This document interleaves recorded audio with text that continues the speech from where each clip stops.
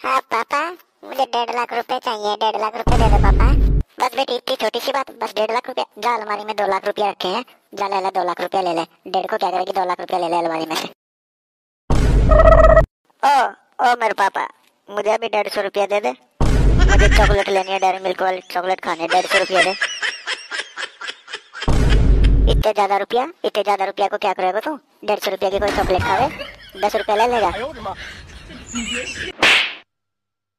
ओ और मेरे पापा के भाई देख रही है मेरे उसको तो डेढ़ लाख रुपया मांगे तो दो लाख रुपया दे दिए मैंने, डेढ़ सौ रुपया मांगे तो दस रुपया देने की कह रहे हैं, देख रही है? अरे तो सही कह रहा हूँ, उस दिन दस रुपये यूज़ कर लिए होते थे तुम होता ही नहीं, इतना खर्चा होता ही नहीं ना, फटे खोटा